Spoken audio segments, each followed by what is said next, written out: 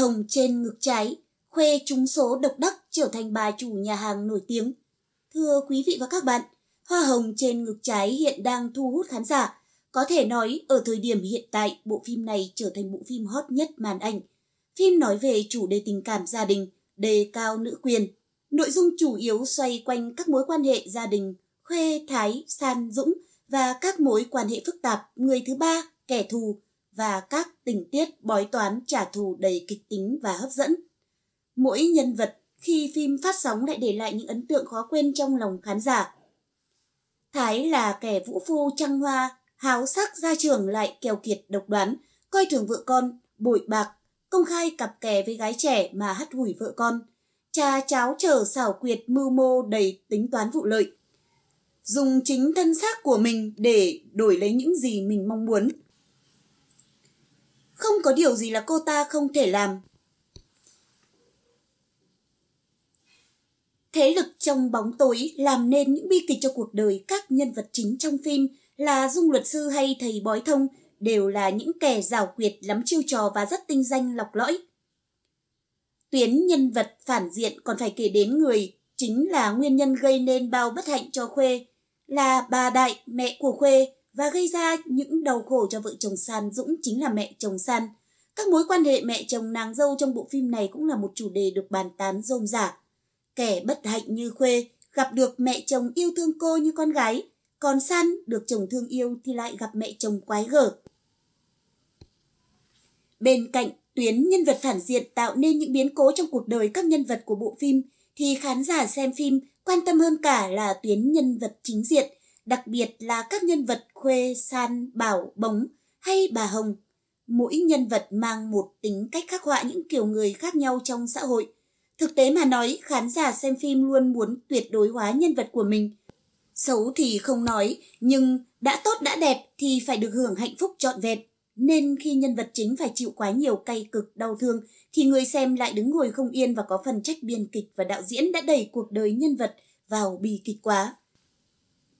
Nhưng trong đời sống thực, chúng ta thấy thực tế có biết bao người tử tế tốt bụng, nhưng suốt cuộc đời họ có gặp được niềm vui và hạnh phúc đâu. Bởi thế nên chúng ta cần nhìn nhận vào thực tế để hiểu cho nhân vật. Tuy nhiên, một đạo diễn hay biên kịch nào cũng vậy, vẫn biết muốn phản ánh đời sống thực nên để cho nhân vật của mình trải qua những gì trong thực tế xã hội đang có và đang diễn ra hàng ngày hàng giờ.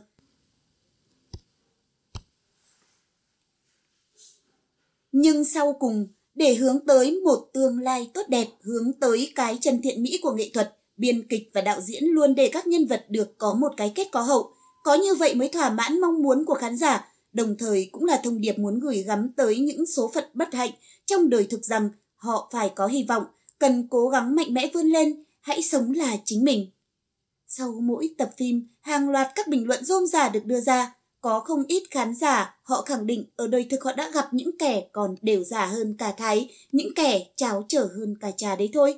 Những khuê, trà, dung, giang hay mẹ chồng San và mẹ đẻ Khuê nhận không ít những lời chỉ trích của khán giả, nhất là trong tập 22 của bộ phim. Những lời cay nghiệt mà mẹ Khuê dành cho Khuê khiến khán giả vô cùng phẫn nộ về người mẹ tham lam, nhẫn tâm, hắt hủi con gái. Khi Khuê gặp liên tiếp những bất hạnh và khó khăn không nơi nương tựa, mệt mỏi, buồn đau, đáng ra mẹ đẻ chính là người giang tay ra đón Khuê, ôm cô vào lòng an ủi động viên, để Khuê vượt qua những gì cô vừa hứng chịu do chính bà ta gây ra. Ai ngờ, Khuê trở về, lại bị bà có ý muốn moi nốt số tiền Khuê có. Khuê một mực giữ số tiền đó không cho ai đụng vào thì bà thẳng thừng đuổi Khuê đi. Khán giả mới vui mừng vì mọi hiểu lầm giữa Khuê và Bảo vừa được hóa giải thì lại lộn mê với bà mẹ tham lam thực dụng của Khuê. Có khán giả bình luận, chỉ mong Thái Vũ Phu nhanh chóng đuổi cổ mụ già kia ra đường. Hết chỗ ở xem bà ấy kêu ai, lấy gì mà ăn. Đúng là loại đàn bà đã lười còn tham lam độc ác. Tập 22 kết thúc, khán giả xem phim vừa hả hê khi thấy Thái và Trà đang lao đao khốn đốn, vừa lo lắng cho bé bóng nhưng cũng chăn trở, buồn cho cuộc đời của Khuê. Giữa lúc nhiều khán giả đang lo lắng chăn trở thì một số thông tin giả thuyết về số phận của Khuê liên tục được đưa ra. Có khán giả cho rằng Khuê sau đó uất ức vì bị mẹ hắt thủi đã uống thuốc tự tử nhưng được cứu sống. Bà Đại lúc này mới tỉnh cơn mê mà yêu thương con gái mình hơn. Ý kiến khác cho rằng Thái quay về bán đất đuổi bố mẹ Khuê ra khỏi nhà.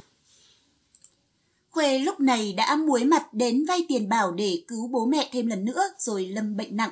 Khi đó mẹ Khuê mới dần tỉnh ngộ mà yêu thương chăm sóc cho con gái. Có bạn phán đoán rằng Khuê sau đó bỏ đi liên tục ngất, thấy sức khỏe của mình không ổn, Khuê đi kiểm tra thì phát hiện ra mình đã ung thư giai đoạn cuối.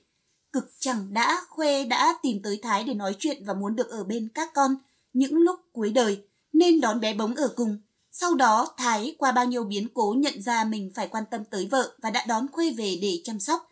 Vậy là cuối đời Khuê lại được về bên các con. Tuy nhiên, có một kết cục cho Khuê mà được nhiều khán giả đồng tình hơn cả. Đó là Khuê sau khi được Bảo đưa ra đón xe, anh đã đưa cho Khuê một sấp vé số anh vừa mua và nói đó là quà kỷ niệm mà anh muốn tặng Khuê. Khuê có nhận thì anh mới hết áy náy vì những gì mình đã gây ra cho Khuê. Khuê nói Khuê không tin vào vé số nên không nhận. Bảo nói Khuê hãy nhận và hãy tin vào may mắn. Khuê đành nhận sấp vé số. Về nhà, Khuê cũng quên luôn sắp vé số đó. Ai ngờ sắp vé số Bảo tặng Khuê đã giúp Khuê đổi đời. Khuê đã trúng giải độc đắc. Bảo đưa Khuê đi nhận giải, số tiền nhận được Khuê không dám nhận, nói là sẽ đưa lại cho Bảo. Nhưng Bảo nói cái anh đã tặng người khác là của người khác. Có thể trời thương cô đã quá khổ nên có ý giúp cô, vậy nên hãy bắt đầu bằng số tiền đó đi. Khuê cầm tiền trong tay vừa mừng vừa lo. Bảo và San đã gợi ý Khuê nên mở cửa hàng ăn vì Khuê vốn nấu ăn rất ngon nên chỉ có mở cửa hàng sẽ là cách giúp Khuê có thể thực hiện được mong muốn của mình, có công việc mình thích, đảm bảo điều kiện tài chính để nuôi con. Khuê đồng ý và nhờ Bảo thuê nhà hàng giúp mình. Kể từ đó, Khuê và Bảo thường xuyên gặp nhau trao đổi công việc. Hai anh em San và Bảo hết lòng giúp đỡ Khuê, nên ba người trở nên thân thiết. Bảo trong những ngày làm việc cùng Khuê mới nhận thấy ở Khuê có những điều anh mong muốn mà không người phụ nữ nào anh quen có được. Anh bắt đầu có tình cảm với Khuê nhưng không dám thổ lộ, dường như Khuê cũng biết được Bảo dành tình cảm cho mình nên Khuê luôn giữ khoảng cách. Càng như vậy, Bảo lại càng khao khát có được Khuê, anh quyết chinh phục Khuê cho bằng được. Dường như tất cả thời gian sau khi làm việc ở cơ quan, Bảo đều dành quan tâm mẹ con Khuê. Khi thì đón bé Moon đưa đi chơi để mẹ Khuê làm việc, khi thì giúp Khuê kê lại nội thất nhà hàng và anh nghĩ ra đủ việc để có thể hàng ngày được gặp Khuê. Công việc làm ăn của Khuê rất thuận lợi, chẳng mấy chốc tiếng tăm nhà hàng của Khuê nổi tiếng khắp nơi. Khuê làm việc hăng say đúng sở thích, nên Khuê thỏa sức sáng tạo. Cô được các phóng viên tìm đến phỏng vấn vì độ nổi tiếng của nhà hàng. Bỗng ở nhà xem tivi, thấy mẹ trên tivi sung sướng khoe bà nội và bố, Thái lúc này đã sạt nghiệp tay trắng phải đi làm công nhân phụ hồ cho chính công ty của Thái đã mất vào tay chủ khác. Mất công ty, ngôi nhà đứng tên bà Hồng cũng bán để lấy tiền trả nợ. Ba người phải thuê một căn nhà nhỏ hẹp để ở. Thái lúc này giật mình, không tin vào mắt mình khuê xinh đẹp thân thái và trở thành bà chủ nổi tiếng. Anh ngậm ngùi nhớ lại những ngày tháng vợ chồng con cái còn hạnh phúc. Tiếc nuối thì đã quá muộn màng. Bà Hồng chỉ chép miệng thở dài không nói. Nhà hàng phát triển, Khuê mong muốn mở rộng thêm chuỗi nhà hàng của mình nên đã mua thêm đất, xây dựng nhà hàng theo ý tưởng của mình. Một hôm Khuê và Bảo ra công trình giám sát việc xây dựng nhà hàng. Tình cờ thay, Thái lại đang làm phụ hồ xây dựng cho chính công trình này của Khuê. Nhìn thấy Bảo và Khuê đi bên nhau cười nói vui vẻ, Thái tưởng rằng họ đang là một đôi. Anh ta vẫn thói hay ghen, dù là đã hắt hủi, đuổi cổ Khuê ra khỏi nhà, khinh thường Khuê không làm nên trò chống gì. Vậy mà giờ thấy Khuê đi bên người khác, anh ta lại hậm hực ghen, Thái tưởng mình vẫn là giám đốc bành bao, định chạy ra chặn đường để hỏi cho ra nhẽ. Anh ta sồng sộc bước ra, đúng lúc ông chủ thầu chạy ra chào Khuê và bảo, chào bà chủ, bà chủ xem tiến độ như vậy đã được chưa? Thái lúc này giật mình lùi lại, nép vào tường nghe ngóng cuộc nói chuyện. Bây giờ Thái mới tỉnh ngộ và biết rằng công ty này là của Khuê. Khuê giờ đã trở thành bà chủ rồi. Vậy mà, khi mới trông thấy anh ta nghĩ Khuê ve vãn được người đàn ông giàu có và lại ăn bám người ta. Vẫn nghĩ Khuê chỉ biết nội trợ mà thôi. Mà, đúng rồi, Khuê vẫn nội trợ, nhưng không phải là công việc nội trợ bình thường phục vụ riêng chồng con, mà là nội trợ phục vụ cả thiên hạ được mọi người tin yêu quý trọng chứ không phải hắt hủi ghẻ lạnh như là khi phục vụ chồng con. Lúc này, Bảo và Khuê bước tới gần, Thái vội lấy cát xoa lên mặt để hai người không nhận ra và kéo khăn che mặt, vác bao xi đi qua hai người. Khuê và Thái không hề hay biết Thái lại đến cơ sự như thế này. Đúng là cái kết hoàn hảo cho Khuê. Giả thiết này đặt ra có người cho là vô lý, nhưng đa số mọi người đều đồng tình và ai cũng mong muốn nó nhanh chóng xảy đến với Khuê để Khuê bớt khổ đau. Tôi chỉ mong nhanh đến ngày chị Khuê lên làm bà chủ để chấm dứt cuộc đời đầy bi kịch của chị ấy, chứ chịu mãi như vậy, chị Khuê sẽ bị trầm cảm mất. Tôi thấy bạn này nói đúng đấy, chẳng hà cớ gì mà đạo diễn lại để bảo tặng Khuê sấp vé số đâu. Đây cũng là cách lý giải hợp lý vì Khuê không bằng cấp rất khó tìm kiếm công việc thuận lợi để có được tài chính ổn định. Chỉ có trúng số, Khuê mới đổi đời được. Chỉ mong anh Bảo và chị Khuê nhanh chóng về với nhau. Thái cũng bị nghiệp quật rồi, Khuê cưới anh Bảo và đón bé bóng về sum họp thôi. Đó là những ý kiến của khán giả với giả thuyết Khuê trúng số độc đắc. Ở tập 22 của bộ phim, sau khi thấy Bảo tỏ rõ thái độ lạnh nhạt với vợ cũ, khán giả cũng đã đoán định chắc chắn Bảo không bao giờ đồng ý để vợ cũ quay trở lại. Với những gì mà cô ta đã gây ra cho Bảo, đủ khiến Bảo nhận ra bộ mặt thật của Ngân rồi. Từ khi biết rõ mình đã hiểu lầm Khuê, Bảo cảm thấy xấu hổ và áy náy vô cùng.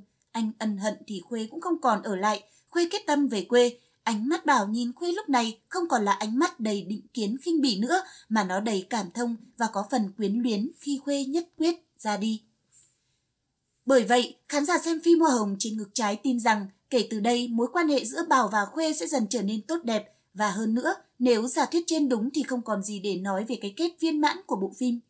Vẫn biết chỉ là những phán đoán chưa có căn cứ chính xác, tuy nhiên, các bạn hãy để ý những phán đoán của khán giả về những tình tiết tiếp theo của bộ phim từ đầu tới giờ có mấy khi sai đâu. Chúng ta hãy đón xem những tập tiếp theo của bộ phim Hoa hồng trên ngực trái để biết rõ cái kết dành cho Khuê có phải như vậy không nhé. Phim được phát sóng lúc 21 giờ 40 các ngày thứ tư, thứ năm hàng tuần trên VTV3.